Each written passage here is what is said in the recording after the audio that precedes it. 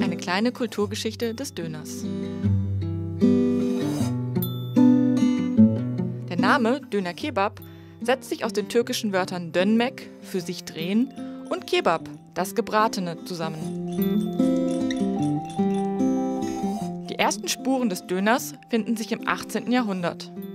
Dort entdeckten Reisende das Hammelfleisch auf drehenden Spießen. Helmut von Moltke war in der Türkei mit dem Aufbau der Armee beschäftigt und lernte dort den Döner kennen.